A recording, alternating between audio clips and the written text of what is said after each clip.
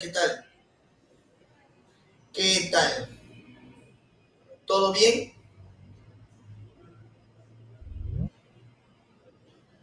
¿Sí? ¿Todo bien? ¿Todo perfecto? Muy bien, jovencitos. Muy bien, muy bien, muy bien, muy bien. Vamos a... Eh, me parece que la semana pasada habíamos hecho el día jueves la parte de inducción electromagnética, ¿no? Habíamos visto la ley de Faraday, ¿no? Flujo magnético y la ley de Faraday, no sé si lo recuerdan. ¿Sí? ¿Lo recuerdan bien?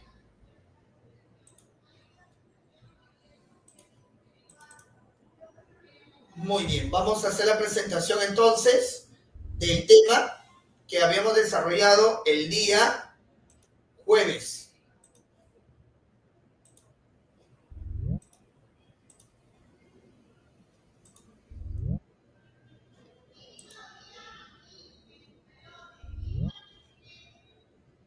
Ah, no, esa no es.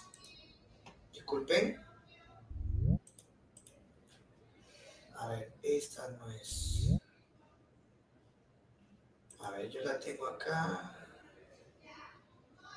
¿En eh, qué día estamos? ¿Qué fecha estamos hoy día? Siete, ¿no? Eso fue el día 3, ¿no?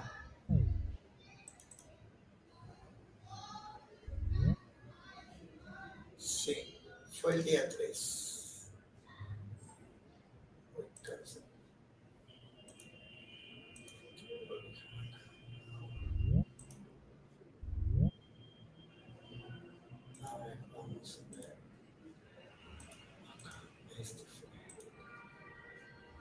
A ver, no sé si se nota bien la pantalla, jóvenes. ¿Sí? ¿Se nota, no?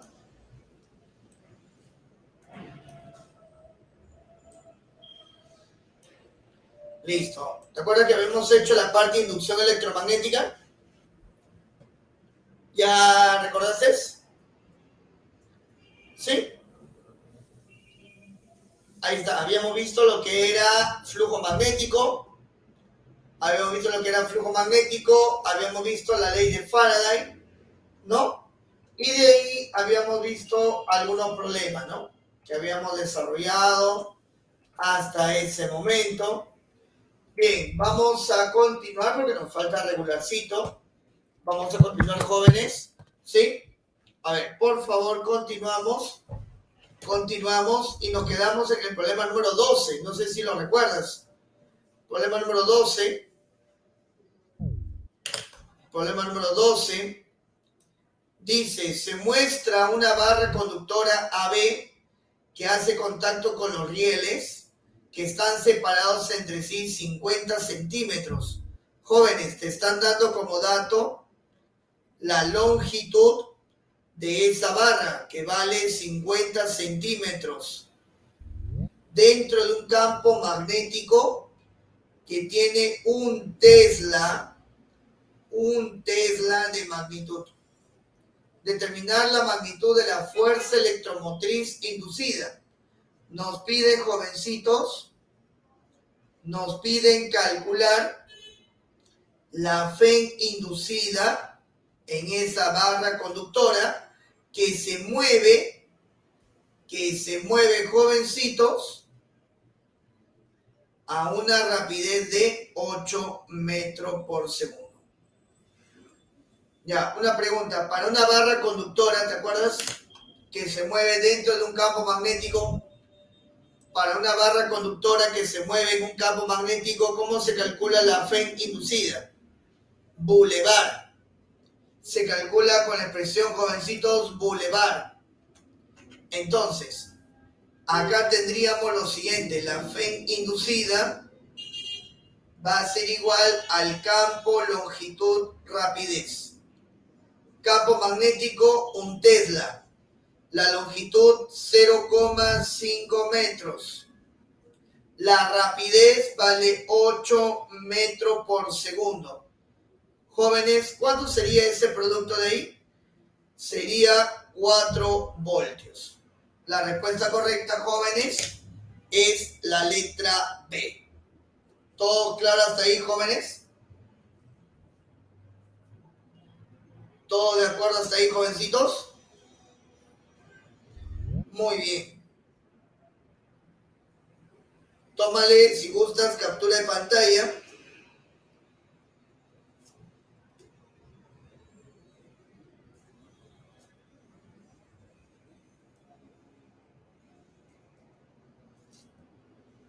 Muy bien, pasamos a la siguiente. Problema número 13. Dice, determine la potencia disipada por el resistor de 2 ohmios cuando la barra conductora de 0,5 metros se desliza pegado a los rieles con una rapidez de 10 metros por segundo en el interior de un campo magnético de 0,4 teslas. Jovencitos, quiero calcular, quiero calcular la potencia disipada por ese, por, esa, por ese resistor. Bueno, se sabe que para la potencia, para la potencia disipada, jovencito, ¿cómo se calcula? ¿Te acuerdas? Voltaje al cuadrado sobre la resistencia. Jovencitos, el voltaje no lo conoces, pero la resistencia sí. Y lo vamos a dejar ahí. Llámale expresión número uno. Ahora, para una barra conductora, para una barra conductora. Jóvenes, para una barra conductora, ¿cómo se calcula la FEN inducida? campo, longitud, rapidez. Vamos a reemplazar esos datos. La fe inducida sería campo magnético 0,4 teslas. Ojo, aquí te voy a poner los datos del problema mejor. Campo magnético 0,4 teslas. La rapidez con la que se mueve la barra 10. La resistencia 2 ohmios. La longitud 0,5 metros. Jóvenes, la longitud 0,5 metros. La rapidez 10 metros por segundo. Jovencito, la fe inducida a qué ser igual. A ver, eh, acá teníamos 4, 2 voltios creo. ¿Habla sí o no? 2 voltios. Muy bien. Dos voltios. Jóvenes. Ahora sí. En uno, la potencia era voltaje 2 al cuadrado sobre la resistencia que vale 2. 2 watts. La A. Ahí está, jóvenes.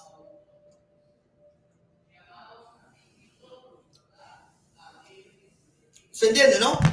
¿Sí?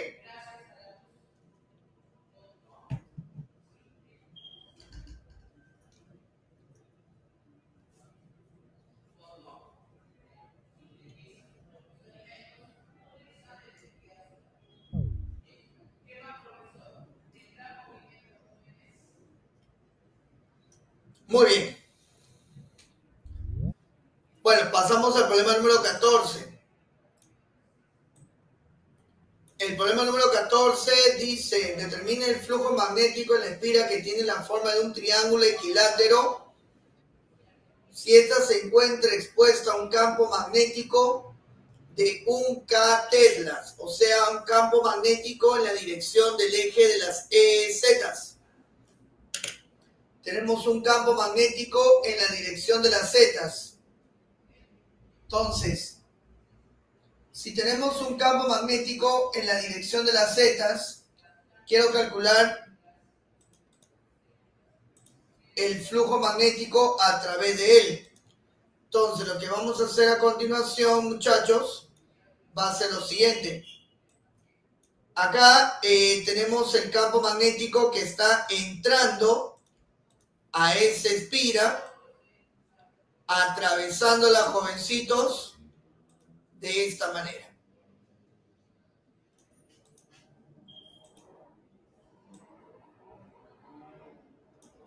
Entonces, por la, eh, por la sección de aquí,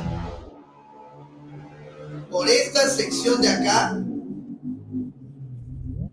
el flujo magnético es saliente. Y por el área, por el área de acá,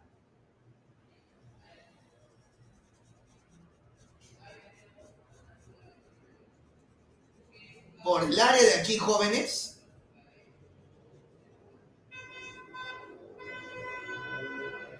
por el área de ahí, va a ser un flujo de qué tipo? Entrante. Jóvenes, se sabe, se sabe que el flujo entrante más el flujo saliente van a sumar cero el flujo entrante sería menos campo por área más el flujo saliente es igual a cero. Jóvenes, eh, acá sería 2 raíz de 2. Sería menos el campo magnético que vale un Tesla, porque recuerda que el campo magnético tiene un valor de un Tesla en la dirección de los zetas. Sería 1 el área sería el área de esta figura, que sería base por la altura sobre 2, es un triángulo.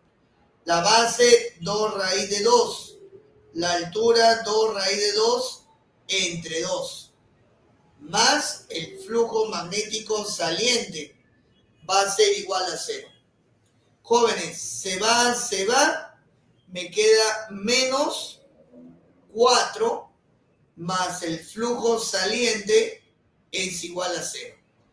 El flujo saliente, jóvenes, 4 Weber. Clave correcta, jovencitos, la letra C de casa.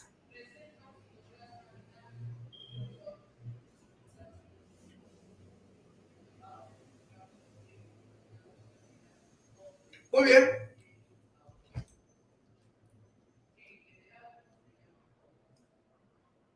¿Alguna pregunta hasta aquí, jóvenes?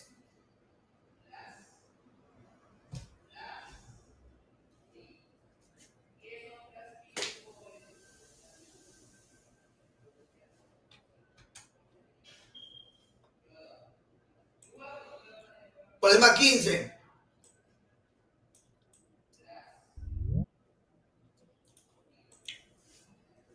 Problema número 15, jóvenes. Determina el flujo magnético en Weber que atraviesa la cara ABCD. Jóvenes, me interesa esta cara de aquí.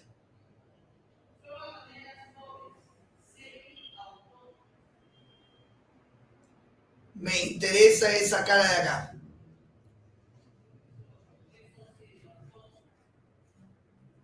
Me interesa esa cara de aquí. Sabiendo que el campo magnético va a tener las siguientes componentes. El campo magnético va a tener dos componentes. Una, 1,5 I menos 2J. Esta viene a ser, jovencitos, un campo magnético en X y esto va a ser un campo magnético en Y. Son las componentes de ese vector campo sabiendo que el lado del, del cubo vale 2 metros. 2 metros, 2 metros. Aquí la idea es dibujar los vectores.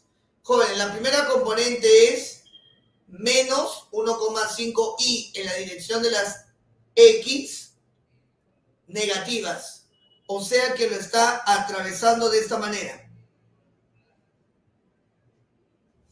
Jóvenes, ¿Lo está atravesando? No, no lo está atravesando. Si te has dado cuenta, ese campo va a ser paralelo a ese plano. No lo está atravesando, chicos. No lo está atravesando. Jovencitos, eh, la componente BX es paralela al plano ABCD. Jóvenes, la componente BX es paralela. Va a ser paralela al plano AB, ABC, D. Va a ser paralelo. Por lo tanto, no hay flujo magnético. No hay flujo. No hay flujo. Ya. Pero, hay un pero tenemos la otra componente, la componente, la componente Y que está aquí. Y es, está así, jóvenes. Esta es la otra componente. Esta es la otra componente. Ay, no, no, no, Ya. Esta es la otra componente.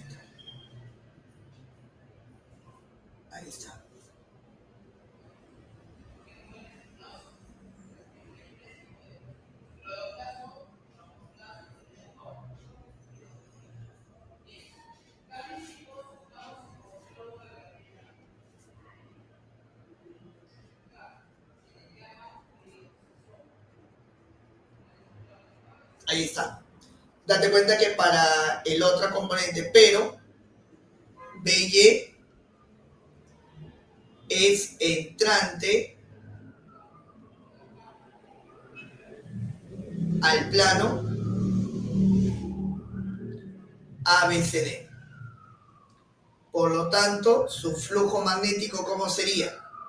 Menos campo por área. Sería menos la componente que vale 2 y el área. ¿Cómo se calcula el área, jovencitos, de esta figura? El área sería lado al cuadrado. Estamos hablando, jóvenes, de 4 metros cuadrados, multiplicado por 4. Y esto me daría en total menos 8 Weber. Clave correcta, jovencitos, la letra B. Muy bien.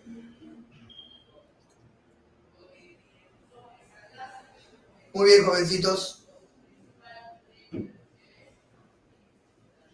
Ahí está. Bueno, problema número 16. Ya es un poquito más complicada la situación. Bueno, en el problema número 17 le faltan datos, ¿ya?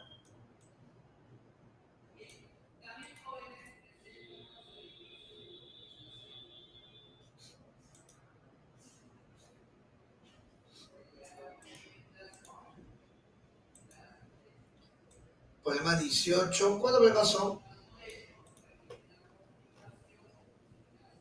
Ya, hay que terminarlo, ¿sí? A ver, jóvenes. Para el problema número 16. Para el problema número 16, hallar el flujo magnético en miliwebers de la superficie en la superficie ABCD. ABCD. O sea, solo me interesa, jóvenes, esta superficie acá. ABCD.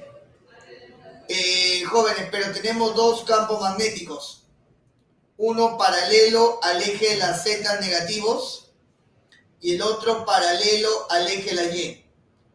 Jovencitos, este de acá va a ser, vamos a indicarlo de la siguiente manera. Mira, vamos a trabajarlo por ejes. Para el eje Y, para el eje Y. Jovencitos, paralelo al eje Y, vamos a tener dos flujos. Flujo entrante y acá un flujo saliente. Jóvenes, vamos a tener acá flujo entrante más el flujo saliente va a ser igual a cero. El flujo entrante es el flujo de la parte posterior, vamos a llamarle así, O, E. Entonces, eh, acá jovencito tendríamos así, menos campo 1, el área A, B, O, E, más el flujo saliente de la cara A, B, C, D. Y eso va a sumar 0. Jovencitos, menos 0,8 eh, el área de la parte posterior. 60, 60, el área sería 1800 centímetro cuadrado, la menos 4, más el flujo saliente por la cara ABCD. Y eso va a sumar 0. Jovencitos, sácame el valor de ese flujo saliente por la cara ABCD. Sería 8 por 8, 64, 1444 por 10 a la menos 3 Weber. Ahí está, jóvenes. Eh, vamos a hacerlo ahora paralelo al eje de las zetas. Para el eje Z. Jóvenes, en el caso del eje Z, para el eje Z, para los ejes Z, acá tendríamos un flujo entrante y por aquí abajo tendríamos un flujo saliente. Jovencitos, el flujo entrante más el flujo saliente van a sumar cero. El entrante va a ser el flujo entrante en la cara ABCD más el flujo saliente. Campo 2, área EOCD. Que sería el área por donde está saliendo el campo magnético 2. Jóvenes, el flujo entrante en la cara ABCD más campo magnético 0,4, el área sería 2400 por 10 a la menos 4, igual a 0, el flujo entrante en esa misma cara va a ser igual a menos 96 por 10 a la menos 3 Weber.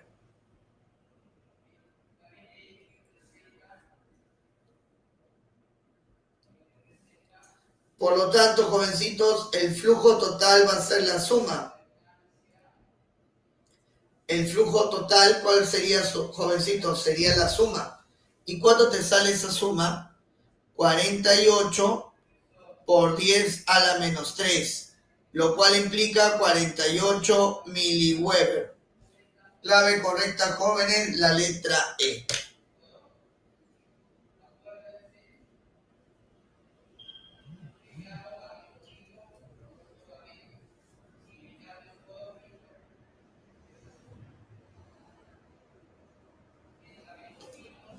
Muy bien. Vamos al problema número 17.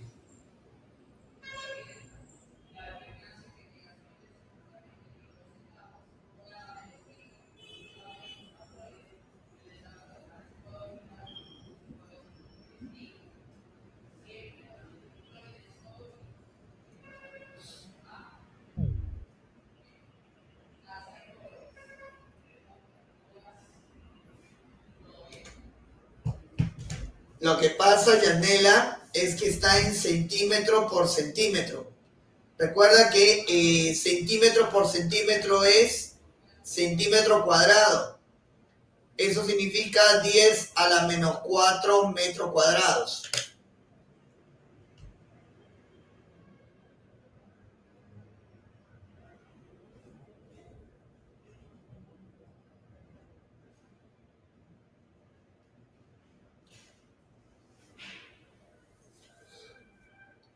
Así es.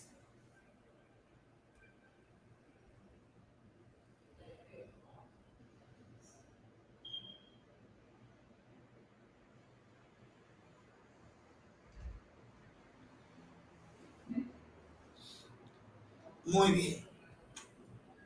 A ver, acá tenemos el problema número 17 que dice lo siguiente.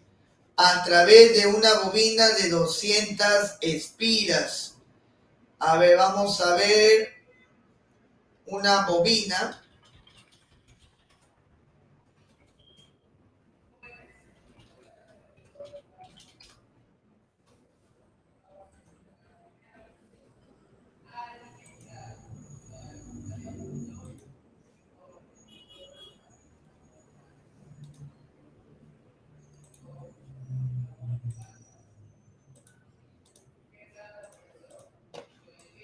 Ahí está la bobina, jóvenes.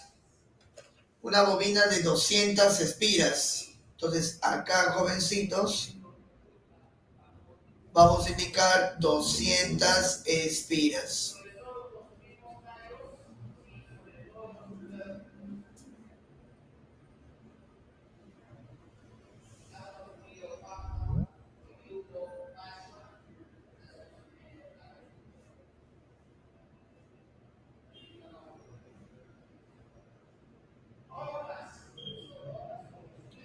Dice, en función al tiempo, determine la fe inducida de 2 a 3, de 2 a 3 y de 6 a 10, respectivamente. Bueno, los, los valores que aquí te varían deben ser así, de 0, 6,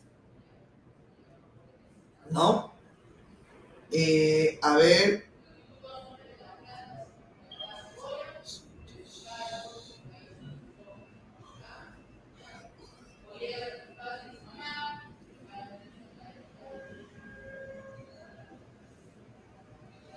Acá vamos a ponerle 2.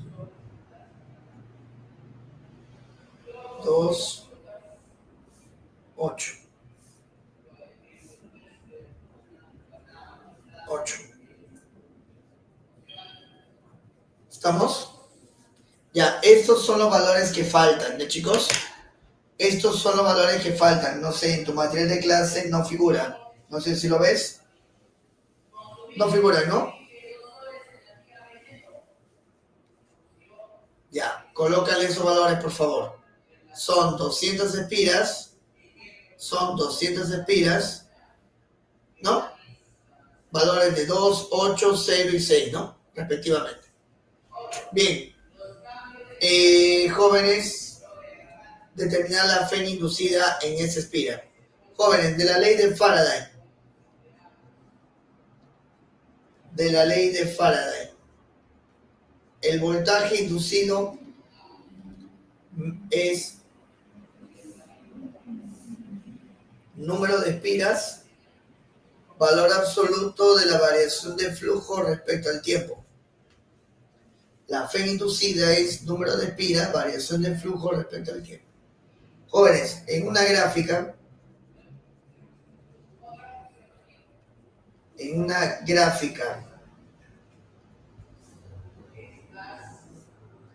flujo versus tiempo, la pendiente, o sea, la tangente me representa la variación de flujo respecto a ti. Jóvenes, aquí le voy a tomar un ángulo. Esto de acá me representa la variación de flujo, que sería 6, y por aquí, jovencitos, el intervalo de tiempo. Te lo piden de 2 a 3, no hay problema porque 2 está por acá y 3 está por acá. Así que va a tener la misma pendiente. ¿No ve que son puntos que igual pertenecen a esa gráfica? jovencitos. Entonces, esta variación de flujo respecto al tiempo va a ser igual a la tangente, que sería 6 entre 6, o sea 1. Jóvenes, ya tengo el valor de la fe. La fe inducida sería número de espira 200 por 1. Jovencitos, eso sería 200 voltios.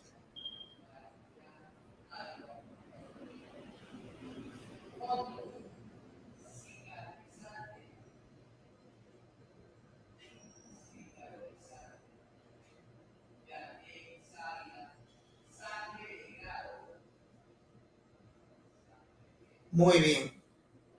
Ahora, te piden de 6 a 10, pero 10 está por acá. Jóvenes, en este tramo el flujo magnético es constante. Jóvenes, si el flujo magnético es constante, si el flujo magnético es constante,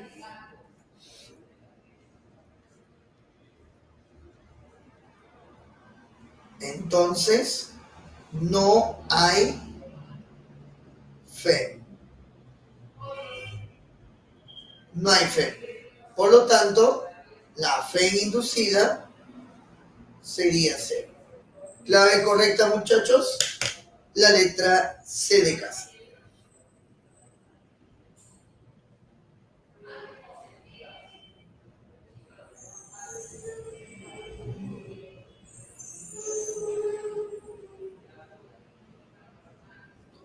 Muy bien, hasta ahí jóvenes, llegamos a la pregunta número 17. Vámonos con la pregunta número 18. En una espira cuadrada de 10 centímetros de lado, 10 centímetros de lado, se establece en una región donde hay un campo magnético que varía con el tiempo según la expresión t cuadrado menos 2 veces t indicar la fe inducida media entre los tiempos 1 y 2. Hallar el valor de la fe, jóvenes. La fe inducida es igual a la variación del flujo respecto al tiempo. Pero como se trata solo de la magnitud, le tomaremos valor absoluto. Jóvenes, el área de la espira sería al lado al cuadrado Estamos hablando de 100 centímetros cuadrados, es decir, 0,01 metros cuadrados.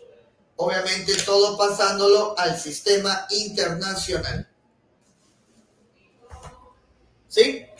Muy bien, jóvenes. Te voy a dejar una tarea. Ahorita. Quiero que evalúes la ecuación de campo en función al tiempo. Es decir, cuando el tiempo es 1, cuál es el valor del campo. Y si el tiempo vale 2, cuál es el valor de campo. A ver, jovencitos, anda sacándolo un ratito, voy por un poquito de agua.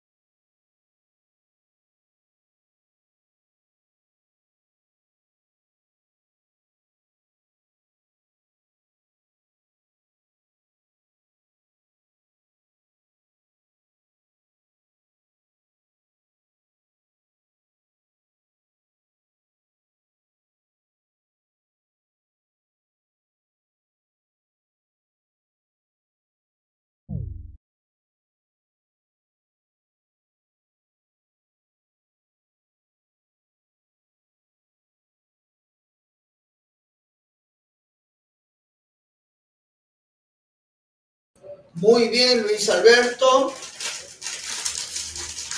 Muy bien, Luis Alberto.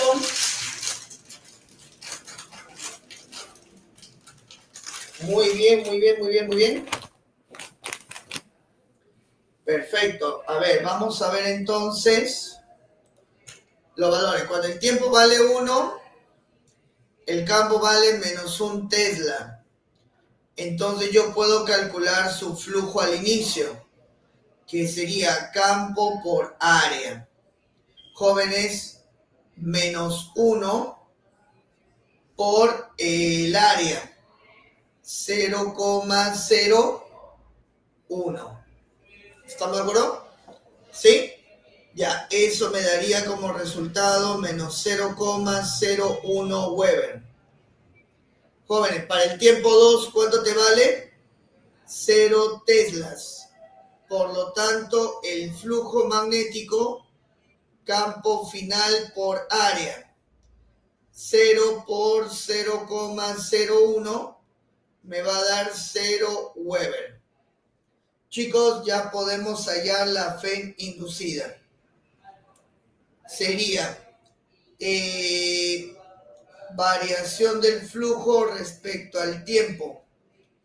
Sería la final menos la inicial entre el tiempo. La final es 0 menos menos 0,01 entre el tiempo que vale 1, porque de 1 a 2 solo ha pasado un segundo. La fe inducida sería 0,01 voltio. Clave correcta, muchachos. La letra B.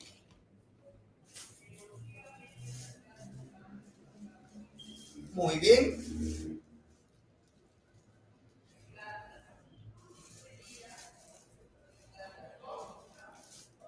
Muy bien.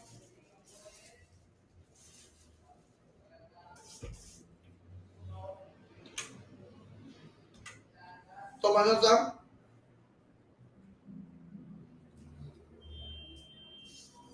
Toma nota, repito. Tómale captura de pantalla si gustas.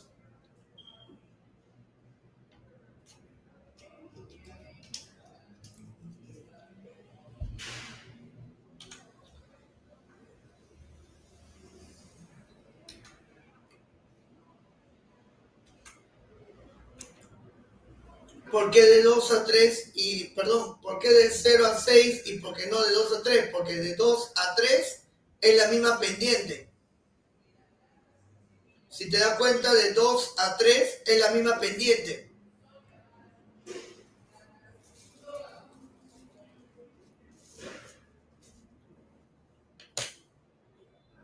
De 2 a 3 es la misma pendiente.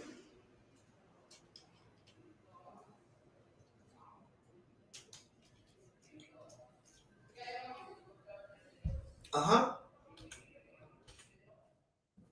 Muy bien. Jóvenes, problema 19. Problema número 19. ¿Cuál es la clave?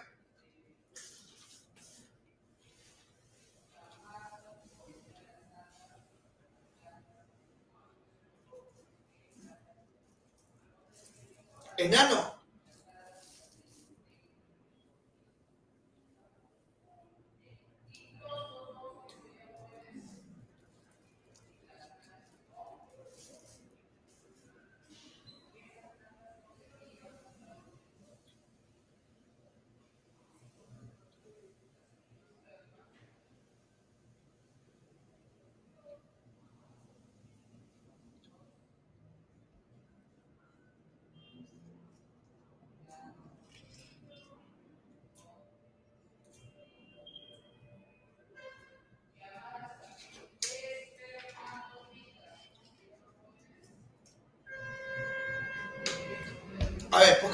Letra E, jóvenes? Determine la fe inducida en el tiempo t igual a 2. Jóvenes, nos piden una fe instantánea. Nos piden la fe instantánea.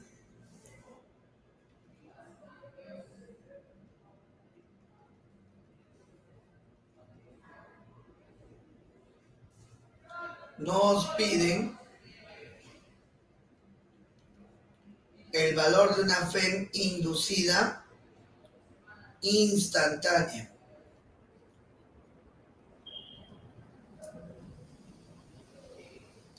No promedio ni media.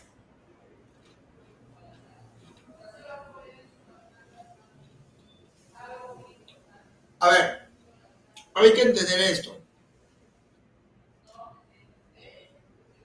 Una cosa es la FEM que tú calculas en un intervalo de tiempo y otra cosa es la FEM o el voltaje inducido que se puede medir en un instante de tiempo.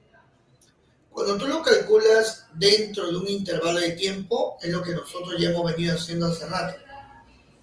Pero cuando te piden un valor instantáneo, instantáneo, ahí lo que vamos a hacer es lo siguiente. Para una FEM instantánea, se calcula así. N derivada del flujo respecto al tiempo. Esta es para un voltaje inducido instantáneo.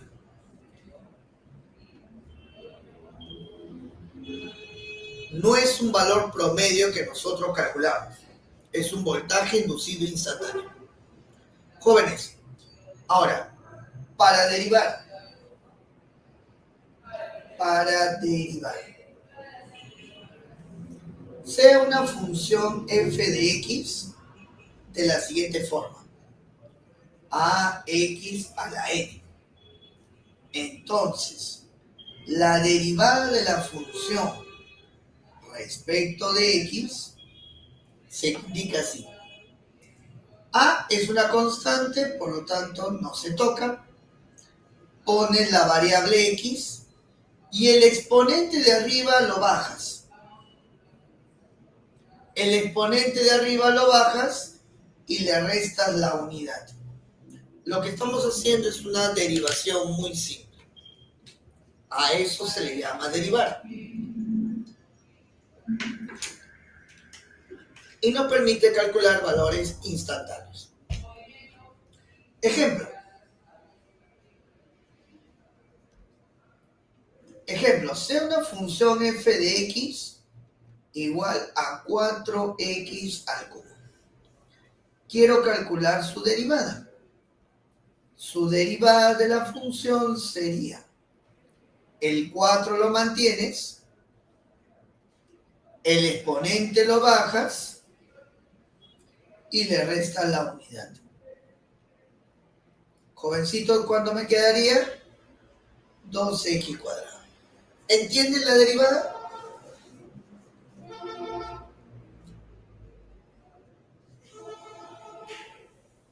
Oye, ¿lo ven no?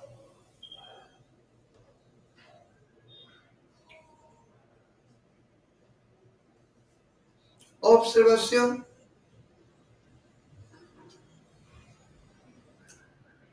Supongamos que la función f de x es igual a x solamente así.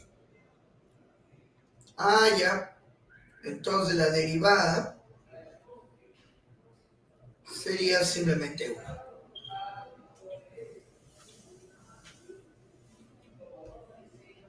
¿Estamos?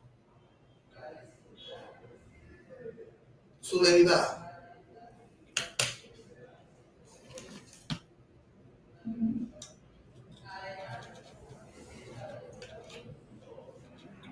Veamos.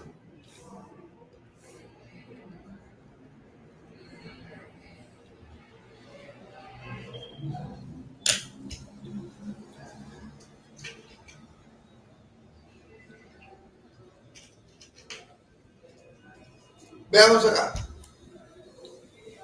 A ver, dada la ecuación de flujo, 5T miliwebers miliwebers por 10 a la menos 3 Weber. Dice que tiene una, bobina de 1000 espiras cuyo valor de flujo es 5T por 10 a la menos 3. Expresar el valor de la fe inducida en el tiempo 2. Jóvenes, vamos a derivar. Sería n veces la derivada del flujo respecto al tiempo. Sería n veces la derivada de quién? De 5t respecto al tiempo.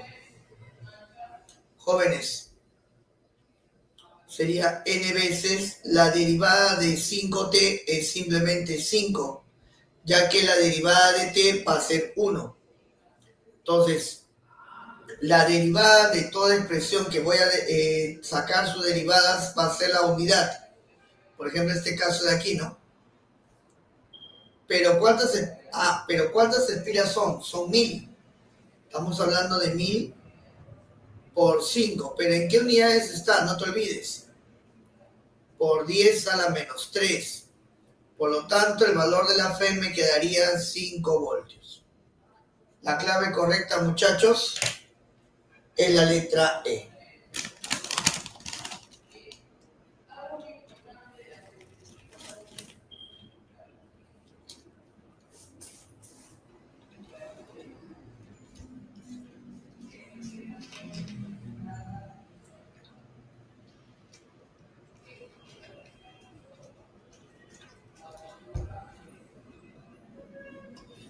Mira, para que lo entiendas, para que lo entiendas mejor, vamos a ver un ejemplo.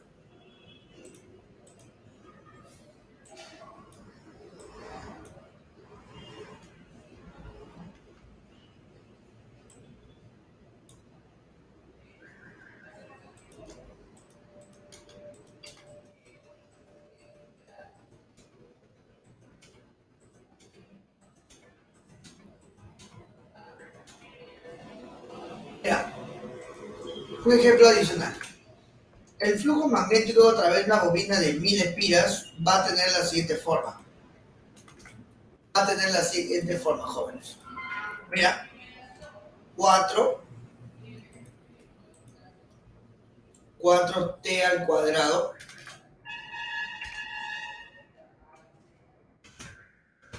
cuatro t al cuadrado más t medido en miliwebbers. Calcular la FEN inducida en el instante de tiempo t igual a 6. A ver, aquí es otra cosa. Determine la FEN inducida en el tiempo t igual a 6. Determine la FEN inducida en el intervalo de 6 segundos. Profe, pero es lo mismo. No, no es lo mismo. Una cosa es determinar la fe en el tiempo 6 y otra es determinar la fe en el intervalo de tiempo de 6. ¿Correcto? Son cosas muy distintas. ¿Ya? A ver, inténtalo y me das una respuesta. A ver, inténtalo y me das una respuesta.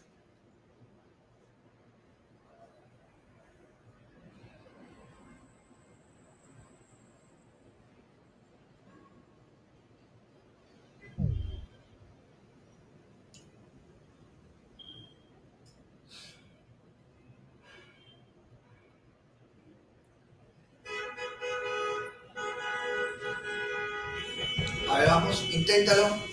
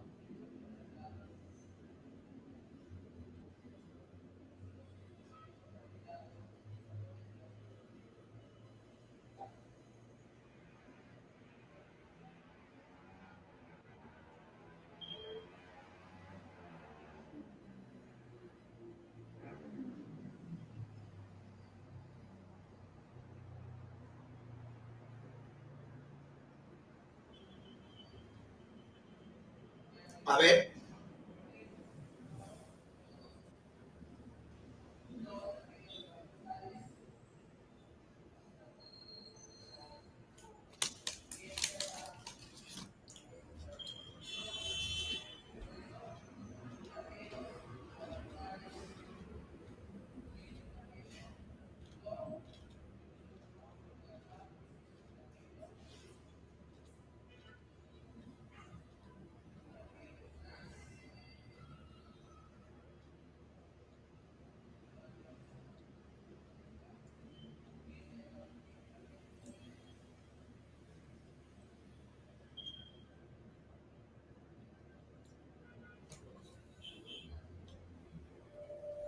A ver, vamos.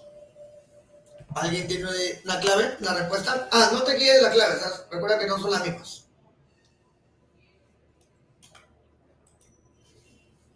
Para que noten la diferencia, o sale igual.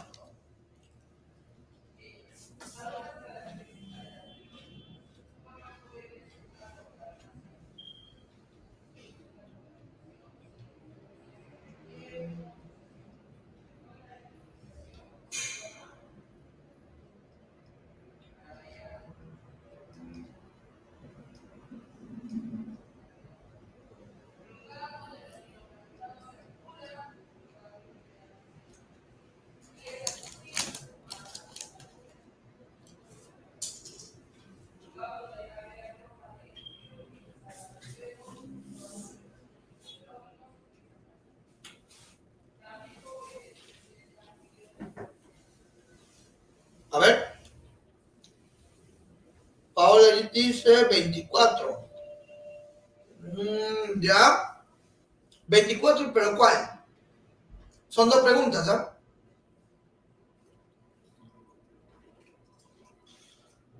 La A te sale 24, ¿ya? Pero recuerda que son una bobina de 1000, ya, también, 24, ya.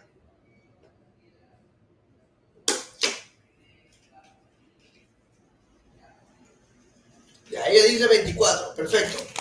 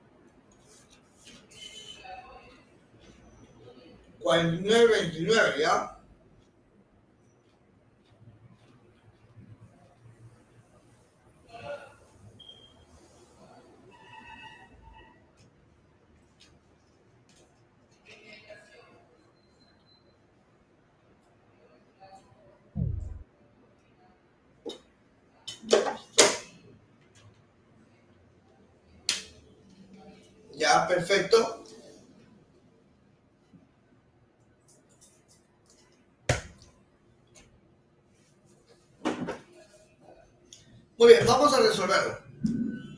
Jóvenes, para la parte A, determinar la fe inducida en el tiempo 6. Jóvenes, para, para la fe instantánea.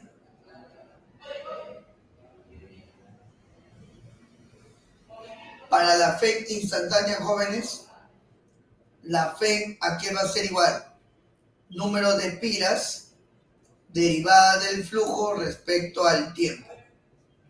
Jóvenes, vamos a derivar.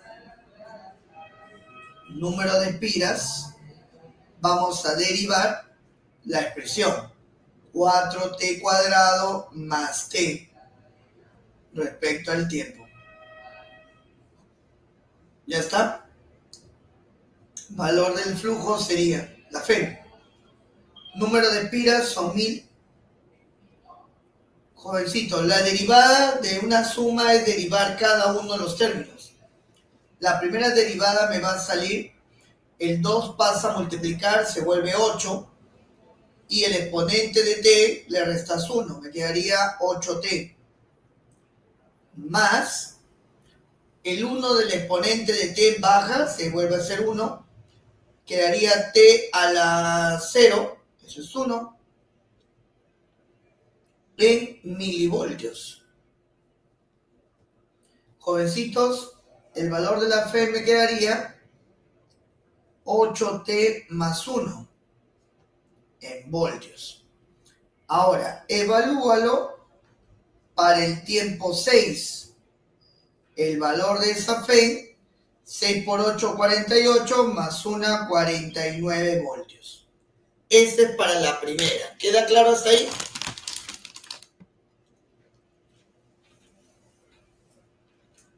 ¿Eh? Muy bien. Ahora, B. Para el intervalo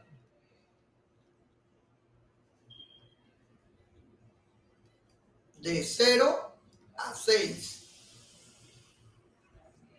Jóvenes, en el tiempo 6, en el tiempo 0, el valor del flujo va a ser 0. Y en el tiempo 6, el valor del flujo, ¿cuánto te sale? A ver, 6. 6 al cuadrado, 36. 36. 36 por 4.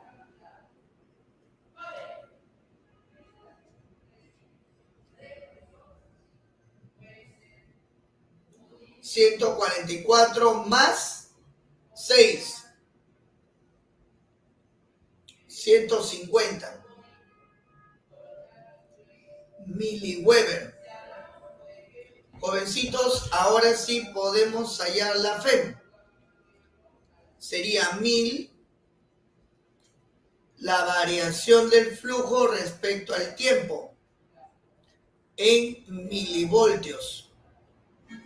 La FEM sería 1000 variación del flujo 150 por 10 a la menos 3 entre el intervalo de tiempo 6. Jovencitos, ¿cuánto sería eso? 25. Esa es la respuesta. Ahora te das cuenta que no es lo mismo medir la FEM en un tiempo de 6 que medirlo en un intervalo de 6 segundos. No es lo mismo.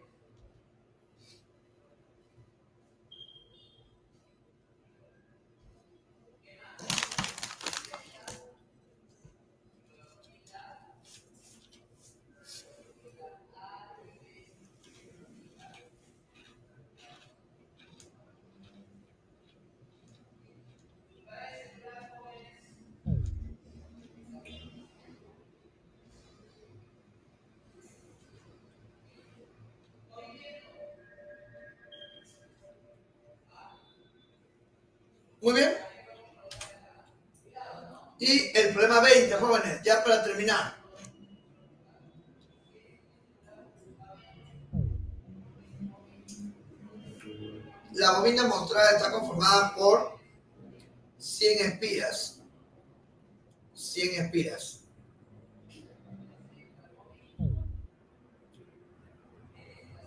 Determina el radio si la fuerza electromotriz inducida es de 4 pi voltios.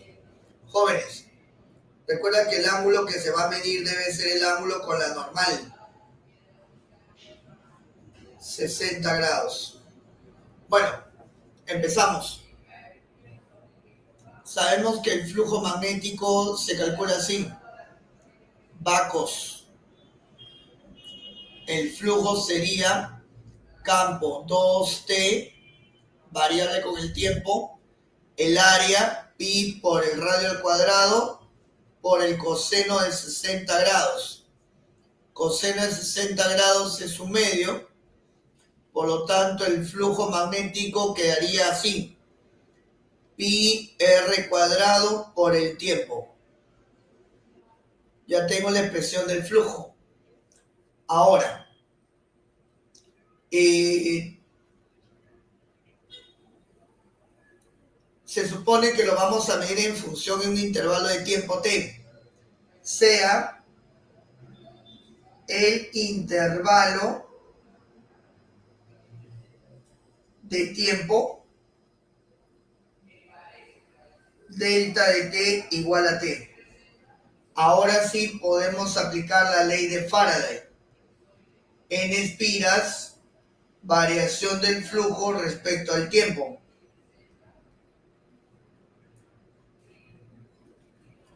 Va a ser igual a n espiras 100, variación del flujo. Jovencitos, si el tiempo vale cero, el valor del flujo sería cero. Para un tiempo t, el valor del flujo va a ser pi r cuadrado de t. Entonces reemplazas pi r cuadrado de t sobre el intervalo de tiempo que también esté.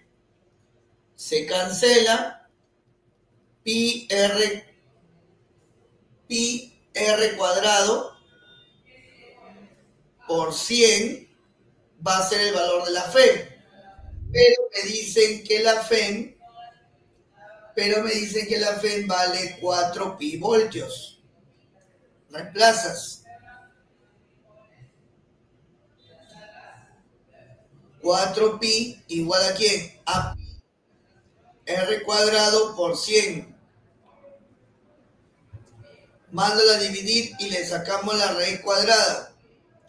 Quedaría que radio vale 2 sobre 10 metros, 0,2 metros. Estamos hablando de 20 centímetros. Clave correcta para ese problema, la letra D. Y con eso, muchachos, se termina todo el material de inducción electromagnética. Muy bien.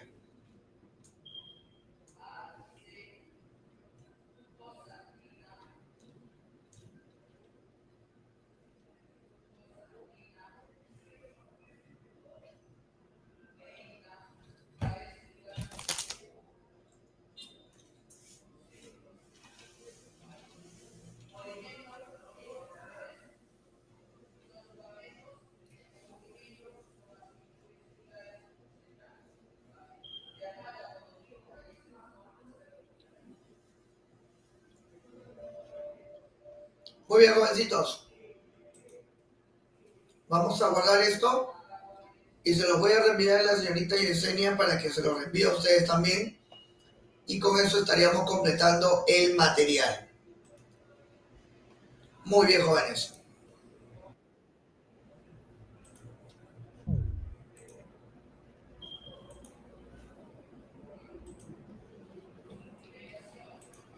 Bien, ¿alguna pregunta hasta aquí?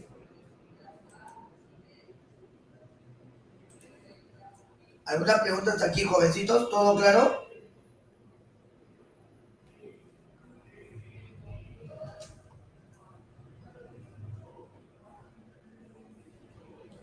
Muy bien, pasamos al siguiente tema, jóvenes.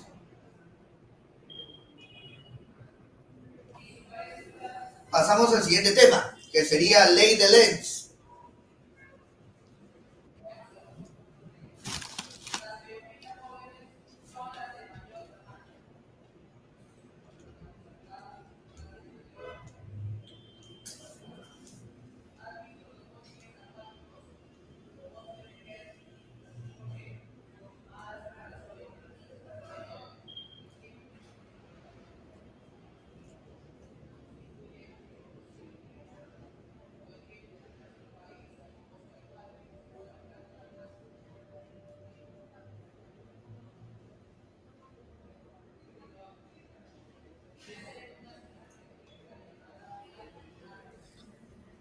Vamos a ver entonces.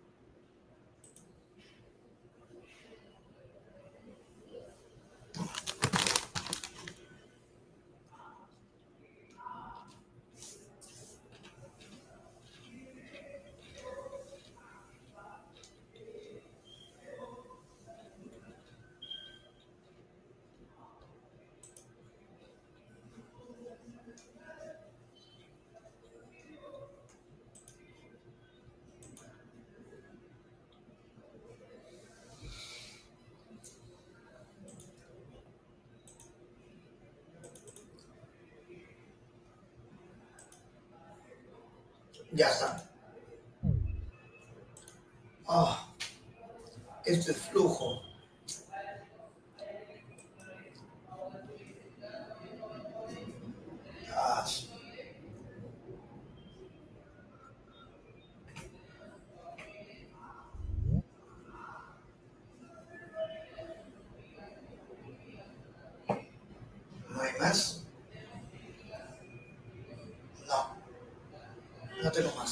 Ya.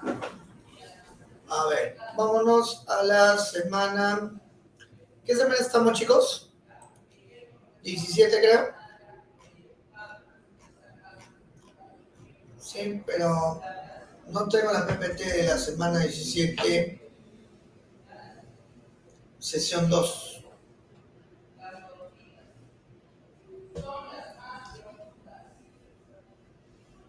Semana 17, sesión 2. No hay. No la tengo.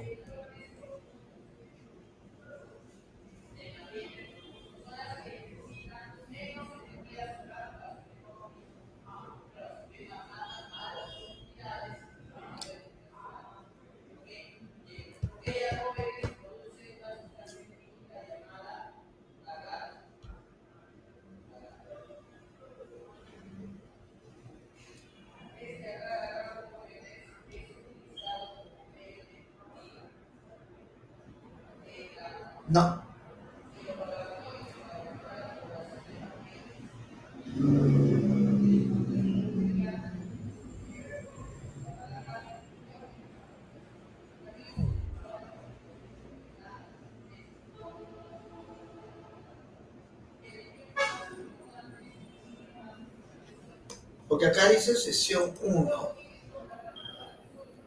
y la sesión 2 no está. ¿Ves? No está. No, no es, no es, no es, no es, no es,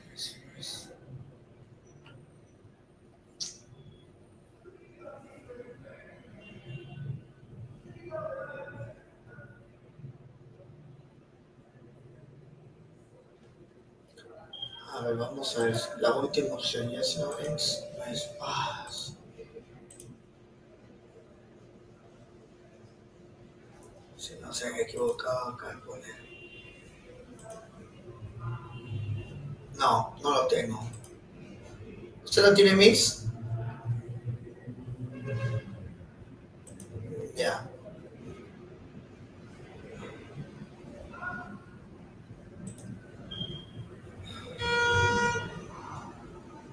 Favor, porque tengo demasiado, estoy hablando de mi, de mi celular,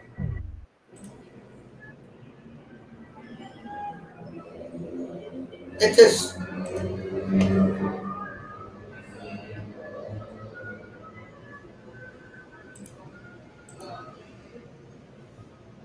no, pero no me toca hacer flujo hoy día. Mis, es lo mismo. El día de hoy se tenía que hacer el tema de ley de Lenz, no está. No está mi ley de Lenz. Porque lo que acabo yo de resolver a los muchachos es esta semana 17 el tema ¿Ve? Lo, ah, ya. Ya lo encontré. Ya lo encontré ya. Sí, ya lo encontré. Gracias, gracias, gracias. Ya lo encontré, ya lo encontré, ya lo encontré, ya lo encontré. Ya lo encontré. Ya está. Sí, ya lo encontré, mis. Gracias. A ver.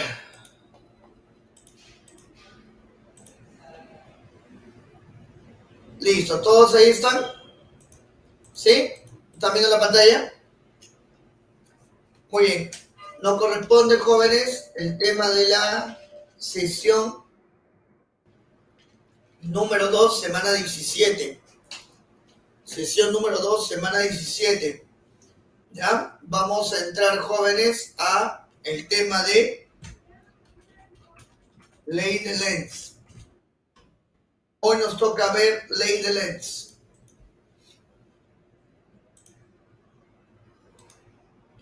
Hoy nos toca ver la ley de Lenz.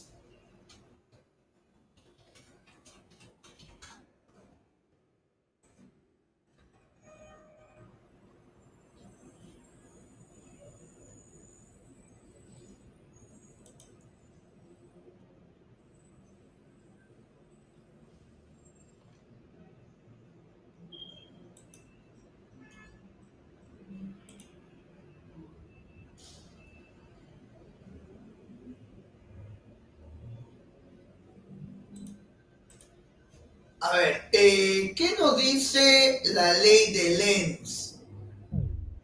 ¿Qué es particularmente, jóvenes, la ley de Lenz? A ver. Eh,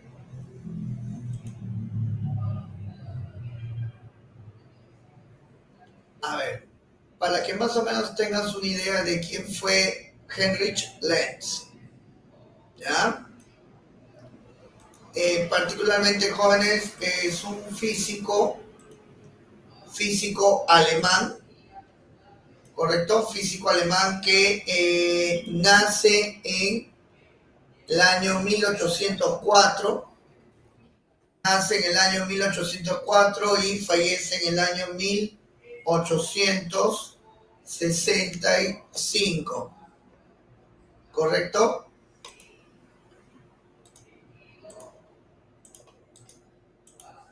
Formula, formula, jovencitos, la ley que lleva su nombre para indicarnos de qué manera se va a formar la corriente eléctrica inducida de acuerdo a la ley de Faraday. Entonces, la ley de Lenz, en la ley de Lenz Eh, nosotros vamos a indicarlo de la siguiente manera. ¿Qué nos dice la ley de Lenz?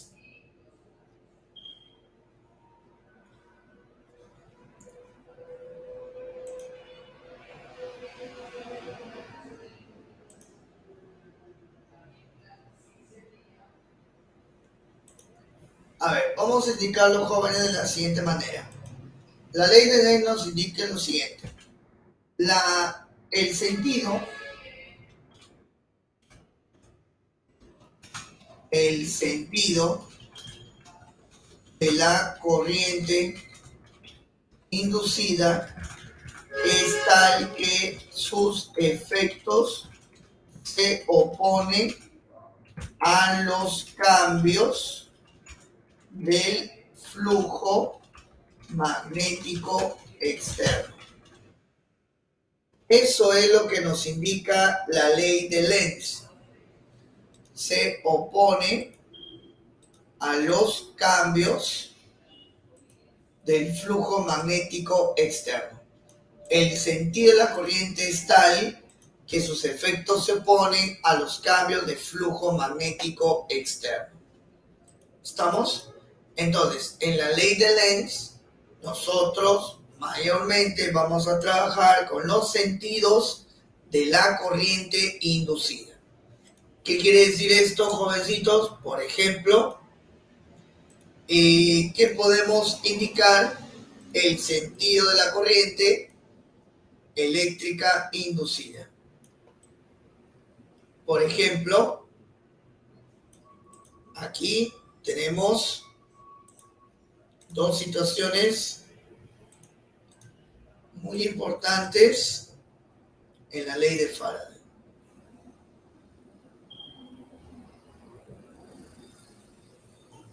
Uy, no mira.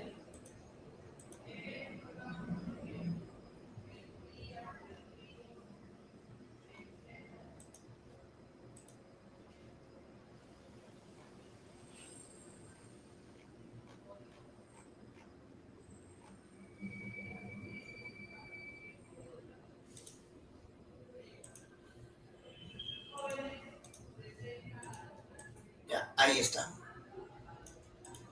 Eh, ¿Qué vamos a poner acá? Mira, para la ley de Faraday, la ley de Lenz, vamos a tratarlo de dos maneras. Primero, cuando el flujo magnético aumenta. Cuando el flujo magnético aumenta, cuando el flujo magnético aumenta, aumenta, jóvenes, cuando ese flujo magnético va aumentando, ¿qué es lo que sucede, muchachos? A ver, dense cuenta, por favor, de lo siguiente. Cuando, por ejemplo, el imán se acerca a la espira, cuando el imán se va acercando a la espira, el flujo magnético aumenta. El campo magnético externo, el externo, es el de color azul. El campo magnético externo es el de color azul. El campo magnético va aumentando su intensidad al acercarse a la espira, lo que genera un flujo que aumenta. Se induce un campo magnético en sentido opuesto el campo magnético inducido debe ser opuesto al externo cuando el flujo aumenta. ¿Estamos? Cuando el flujo magnético aumenta, el campo inducido y el campo externo van en sentidos opuestos. El, el de color azul, la línea de color azul, tal como lo ves aquí, va en un sentido y el otro, que es el inducido, va en sentido opuesto. Siempre van en sentidos opuestos. ¿Estamos? En cambio, en cambio, jóvenes, cuando el flujo magnético disminuye,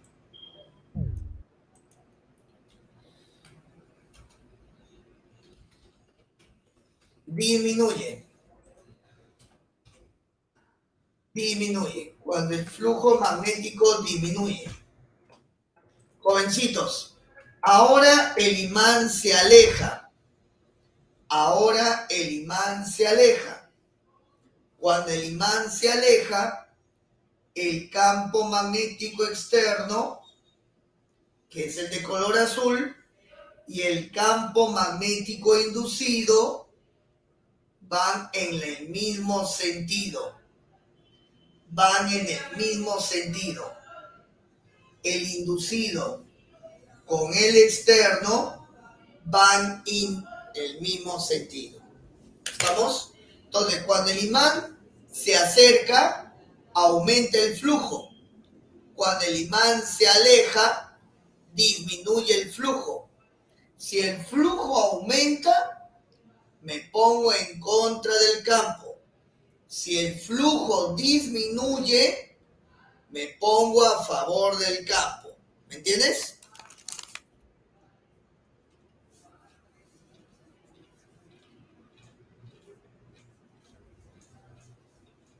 Esa es la ley de Lenz para encontrar el sentido de la corriente. A ver, una pregunta. ¿Y cómo saco el sentido de la corriente? Ah, ya aplico la regla de la mano derecha.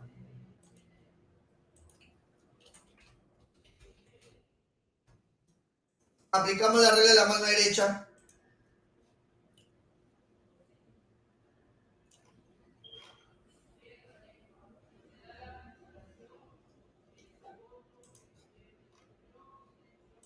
Ah, que profe, ¿se puede aplicar esa regla? Claro.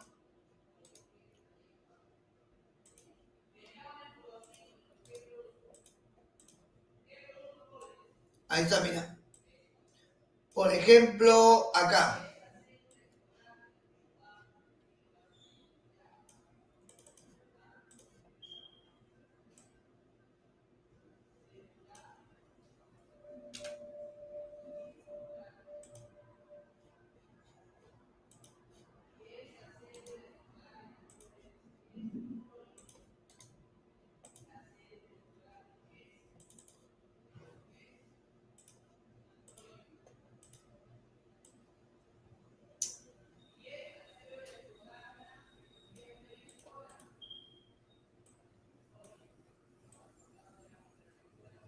Ya, ahí está, mira.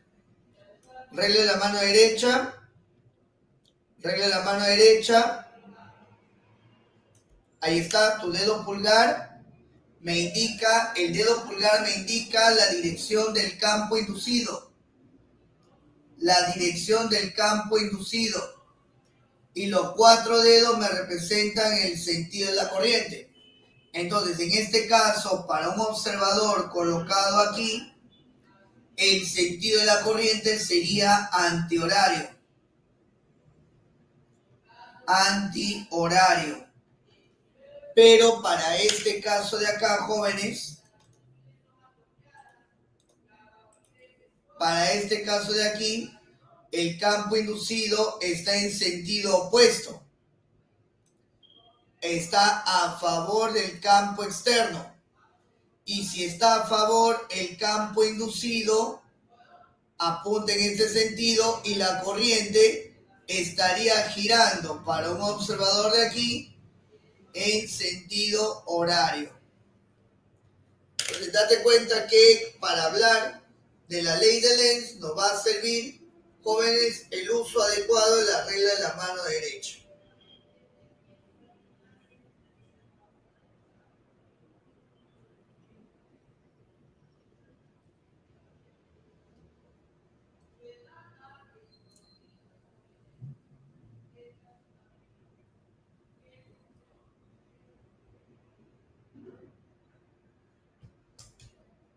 Muy bien. Ahí tenemos la ley de Lenz. Bien, jovencitos. Vamos a colocar acá.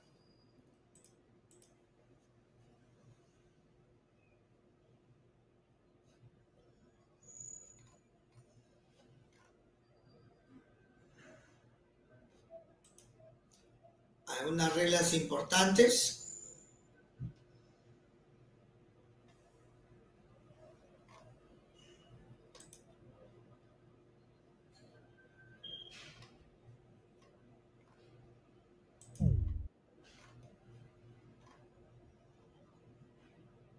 De acuerdo con la ley de Lenz.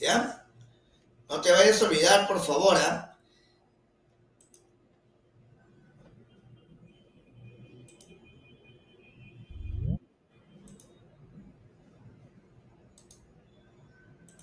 Aquí, por ejemplo, mira, este está bonito.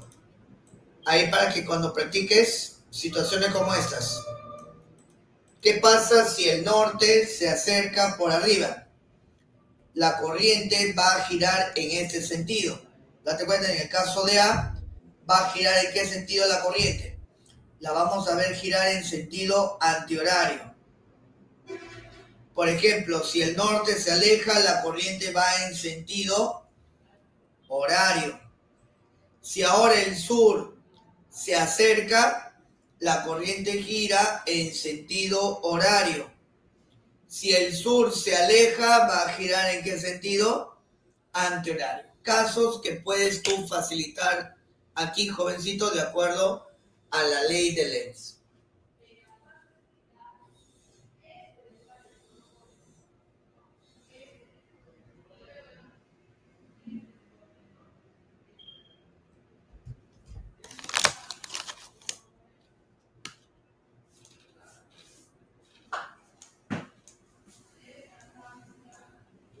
Muy bien. Toma de captura de pantalla.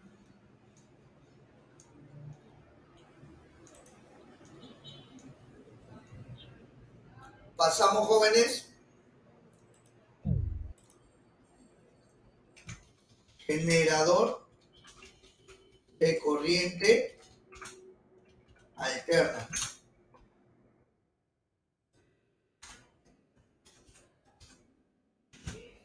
Generador de corriente alterna. ¿Qué es un generador, jóvenes? De corriente alterna.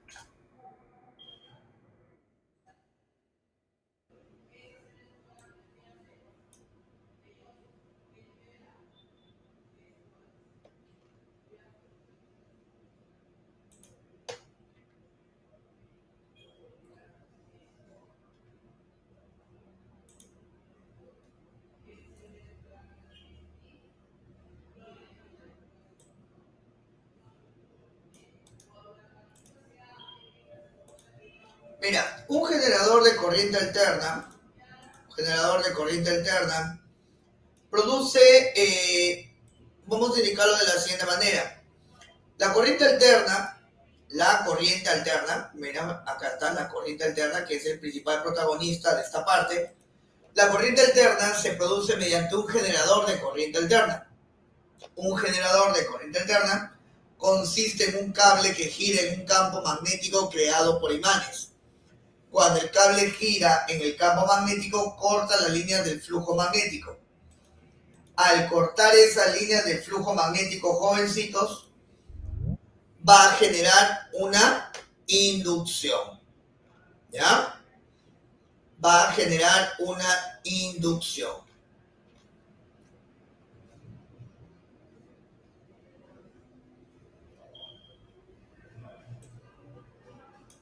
El flujo cambiante, mira, acá está. El flujo cambiante a través del cable genera una fuerza electromotriz que impulsa las cargas eléctricas alrededor del cable. El cable conductor crea una corriente oscilante, crea una corriente oscilante que fluye en dos direcciones dependiendo de la variación de la polaridad del imán. Eh, para que lo entiendas,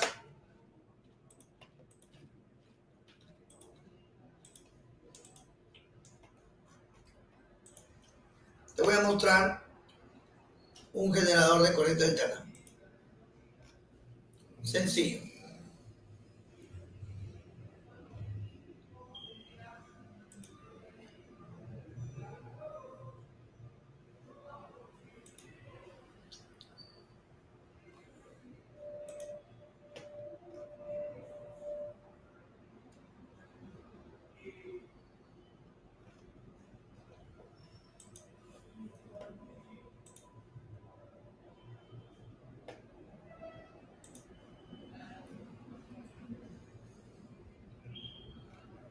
Normalmente un generador de corriente alterna lo que hace es cambiar, ¿no?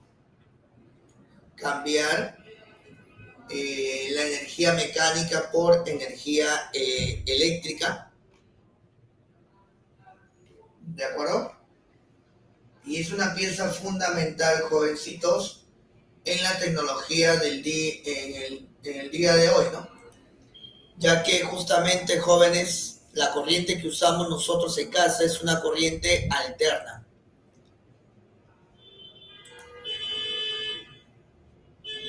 Es una corriente alterna. ¿No?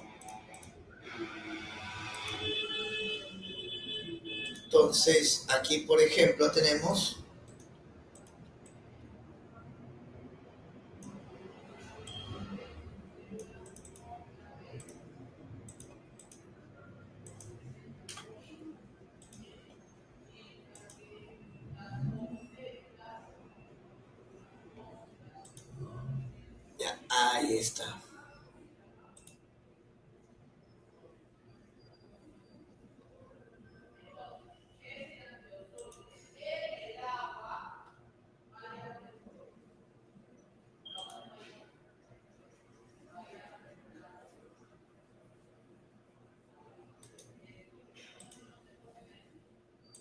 Ya, ahí está chicos, ese es el esquema.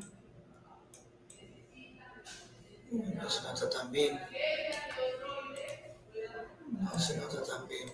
Ajá, este creo que está mejor.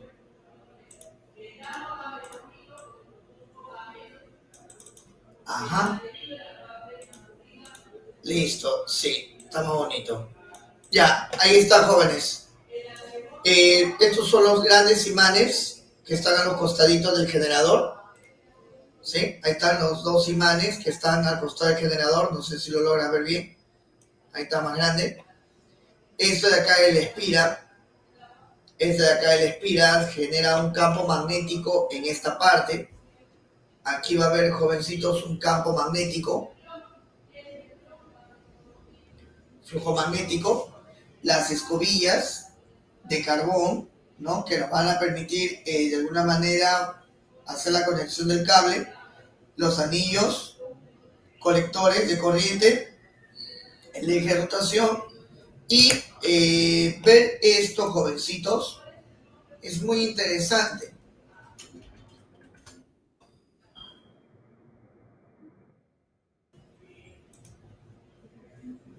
¿No?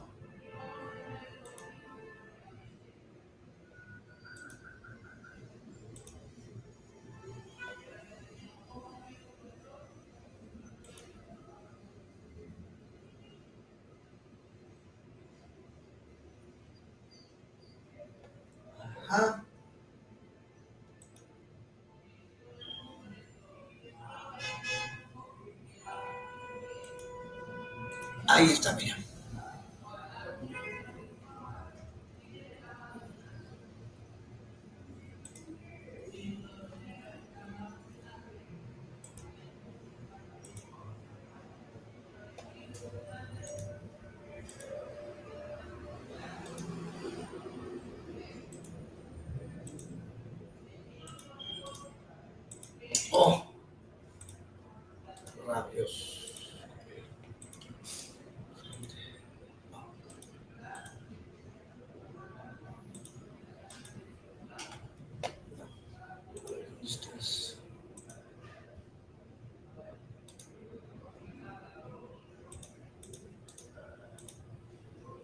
Ahí está, jovencitos. En vivo, ¿cómo es que esto se está dando? ¿Sí? Ahí está. Como ustedes pueden observar, la espira gira.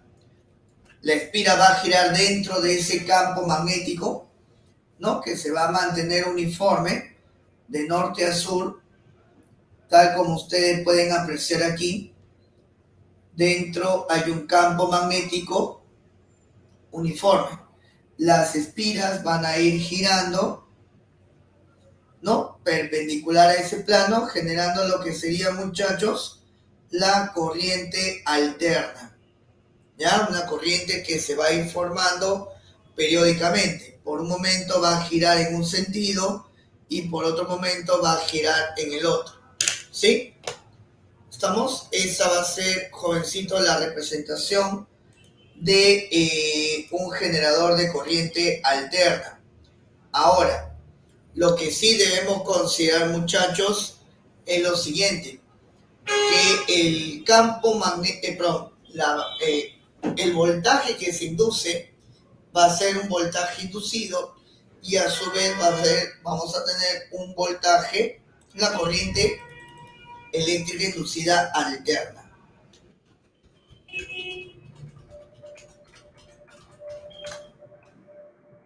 Eh, a ver, las gráficas, las gráficas que representan jóvenes a un voltaje y a una corriente,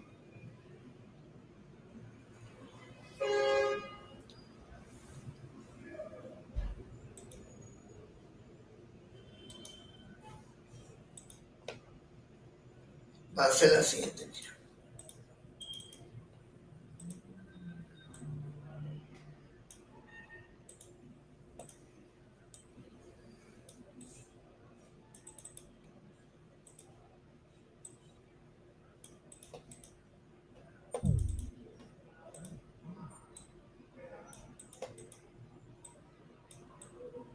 Ya, ahí está. Esta, jovencitos, es la gráfica del voltaje versus el tiempo en un generador de corriente. ¿De acuerdo? Voltaje versus el tiempo. Voltaje versus el tiempo. La ecuación de ese voltaje va a ser voltaje máximo por el seno de omega por t. Donde omega, jovencitos, va a ser la rapidez angular por la que gira esa espira. ¿Estamos? Esto es para el voltaje alterno.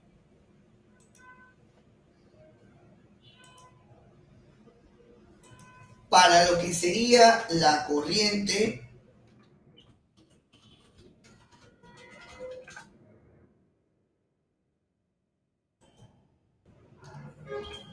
para lo que sería la corriente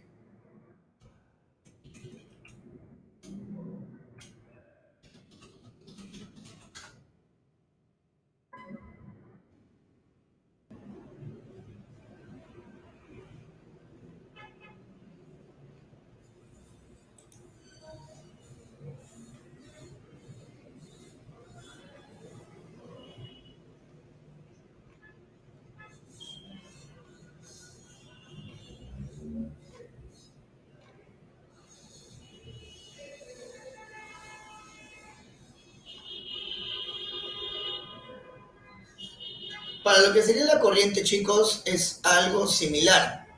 La corriente alterna tiene también, jovencitos, eh, tiene también una forma similar. ¿Ya? Tiene una forma similar a la del voltaje alterno. Es muy similar.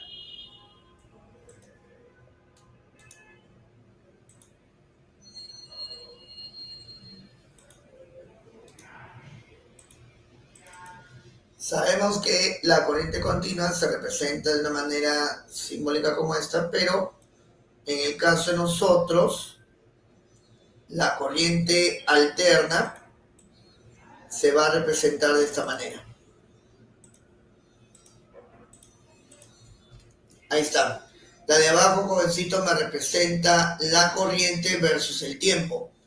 Y la ecuación de esta gráfica va a ser así corriente máxima multiplicado por el seno de omega por t.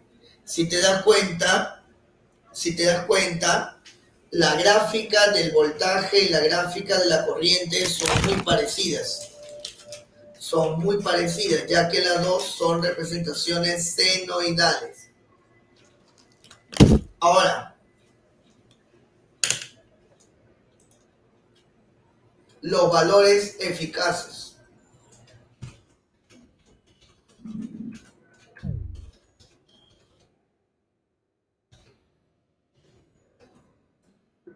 Para poder trabajar con valores de corriente alterna y de voltaje alterno, necesito hacerlo, jovencitos, en función a sus valores eficaces. El valor eficaz que puede tomar la corriente se calcula así. Su valor máximo dividido entre la raíz de 2. Y para lo que sería el voltaje eficaz, su valor se calcula de esta manera. El máximo sobre la raíz de 2. Entonces, si queremos trabajar con la corriente alterna, debemos considerar dos aspectos básicos. Uno, que el voltaje y la corriente van a tener representaciones senoidales. Van a ser corrientes y voltajes que van a cambiar cada cierto tiempo.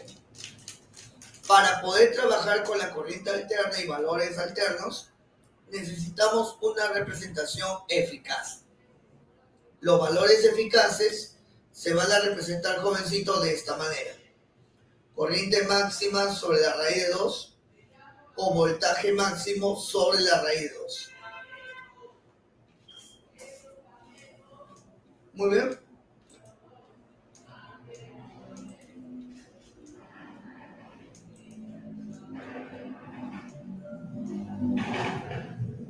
Muy bien, jovencitos. Ahí nos vamos a quedar. Ahí nos vamos a quedar, jóvenes. ¿Sí? El día jueves terminamos lo que sería generador de corriente alterna. Terminamos lo que serían transformadores. Hacemos ejercicios y entramos a ondas electromagnéticas. ¿De acuerdo? Muy bien, jóvenes. Ahí nos vamos a quedar. Cuídense y nos estamos viendo el día jueves. Chao chicos, que tengan un excelente día.